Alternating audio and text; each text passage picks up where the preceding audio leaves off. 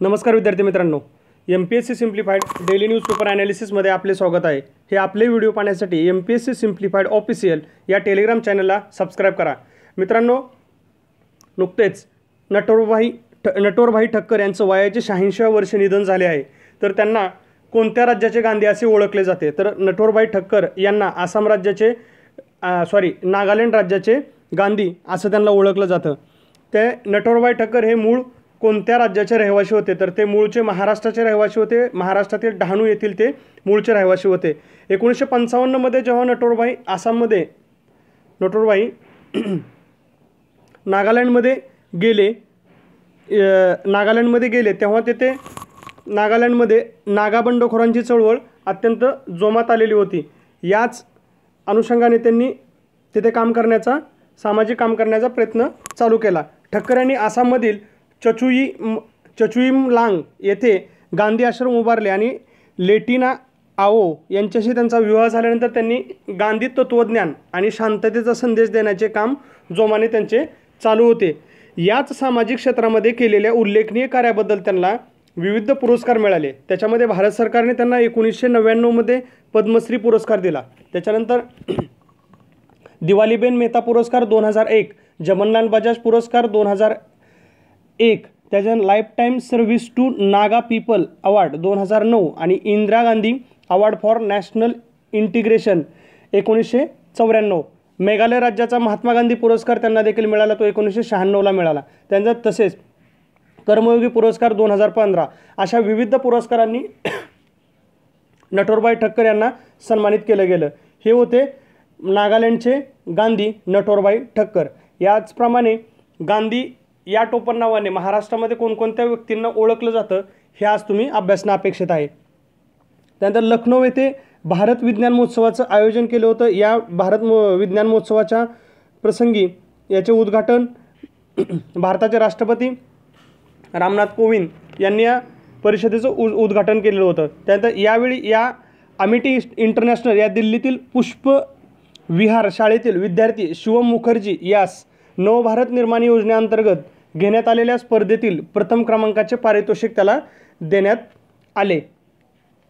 या स्पर्धेतील द्वितीय क्रमांकाचे पारितोषिक याच शाळेतील जसकरण सिंग छाबडा व सिद्धार्थ साहू यांना मिळाले.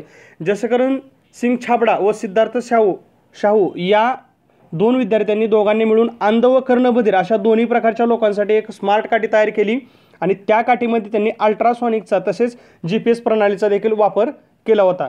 या स्पर्धेमधील तृतीय क्रमांकाचे पारितोषिक जैव विघटनशील प्लास्टिक स्टार्चपासून सॅनिटरी नॅपकिन तयार करणारे खुशबू गुप्ता व शगुन जैन या दोघांना हा पुरस्कार देण्यात आला. हे होते लखनौ येथे भरलेले भारत विज्ञान परिषद महोत्सव आणि त्याच्या अंतर्गत नवभारत निर्माण योजनेअंतर्गत देण्यात आलेली पारितोषिके. चायना खुली टेनिस स्पर्धा. या स्पर्धेचे डेन्मार्कच्या कॅरोलो कॅरोलिन ओझनियाका ओझनियाकीने ह्या स्पर्धेचे विजेतेपट पटकावले. तर उपविजेता म्हणून ॲनास्टेसिया सेवास्टोवा हिला उपविजेतेपद मिळाले. बीजिंगमधील कॅरोलिनाचे हे तिसरे एकूणातले विजेतेपद आहे. ही होती चायना खुली टेनिस स्पर्धा. यानंतर जागतिक युवा स्नूकर स्पर्धा. ही नुकतीच पार पडली. आंतरराष्ट्रीय बिलियार्ड्स आणि स्नूकर महासंघाच्या वतीने रशियातील सेंट पीटर्सबर्गला झालेल्या सोळा वर्षाखालील गटाच्या ज ग सोळा वर्षाखालील गटाच्या जागतिक स्नूकर स्पर्धेत भारताच्या कीर्तना पांडियन या मुलीने मुलींच्या गटामध्ये कीर्तना पांडियनचे कीर्तना पांडियनने विजेतेपद पटकावले.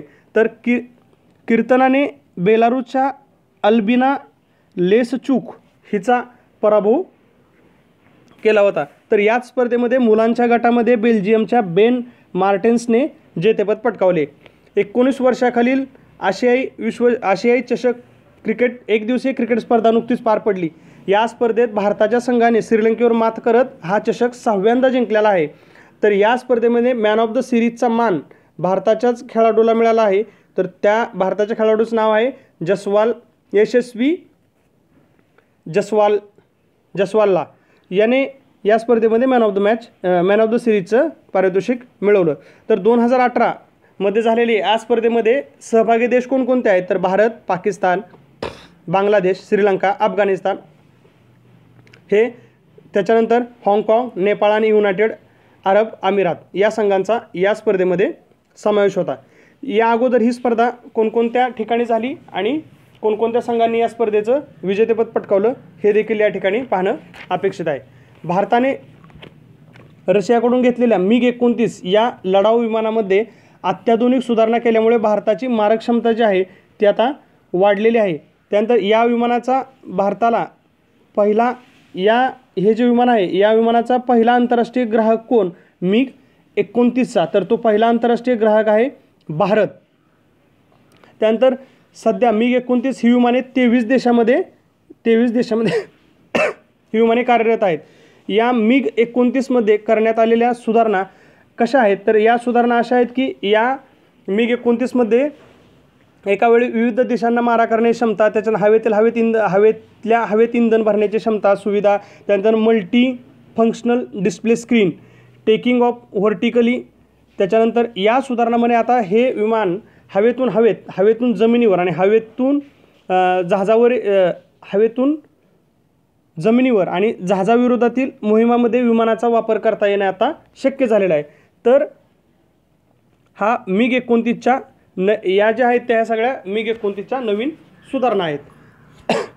याबाबत आता आपण पाहूया की मिग एकोणीस ह्या विमानाचे सर्वाधिक अपदा अपघात दोन हजार दहा ते दो सॉरी दोन हजार एक ते दोन हजार चौदाच्या काळामध्ये जे सर्वाधिक विमान अपघात झाले होते त्याच्यामध्ये स सर्वात जास्त विमान अपघात मिग एकोणीसचे झाले होते. तर मिग एकोणी मिग एकवीस हे ओझर येथील Hindustan aeronautics limited H A L हालमध्येच त्याची निर्मिती झालेली आहे. या विमानाला बालालौका या नावाने देखील ओळखलं जातं. या विमानाची उड्डाण क्षमता जी आहे ती पंचेचाळीस किलोमीटर सॉरी पंचेचाळीस मिनिटे एवढी याची उड्डाण क्षमता आहे. तर मिग या तर या मिग एकोणीस लढाऊ विमानाचा दोन हजार एक ते दोन हजार चौदाच्या दरम्यानमध्ये दरम्यान ह्या विमानाचे जे आजपर्यंत विमानाचे लढाऊ विमानाचे अपघात झाले त्याच्यातील सर्वात जास्त अपघात या मिग एकवीसचे झाले ते एकूणातले एकसष्ट अपघात मिग एकवीसचे झालेले आहेत. तर हे होते मिग एकवीस. भारत सरकारने सुरू केलेल्या आयुष्यमान भारत योजना आयुष्यमान भारत योजना या योजनेचा एकापेक्षा अधिक वेळा जर लाभ घ्यायचा असेल तर त्याच्यासाठी आता आधार कार्ड आपल्याला बंधनकारक करण्यात आलेलं आहे. तर या योजनेची पहिली लाभार्थी आहे हरियाणातील कर्नाल गावातील एकोणीस दिवसाची करिश्मा. ही या आयुष्यमान भारत योजनेची पहिली लाभार्थी आहे. तिचं नाव आहे करिश्मा. या आयुष्यमान भारत योजनेसंदर्भात मित्रांनो सविस्तर माहिती घेण्यासाठी आपले बावीस सप्टेंबर दोन हजार अठराचे लेक्चर अवश्य पहा. तुम्हाला या लेक्चरमध्ये या योजनेची सविस्तर माहिती मिळेल. तर मित्रांनो हे होते आजचे M P S C simplified daily newspaper analysis हा व्हिडिओ आपण शेवटपर्यंत पाहिलात. त्याबद्दल धन्यवाद विद्यार्थी मित्रांनो.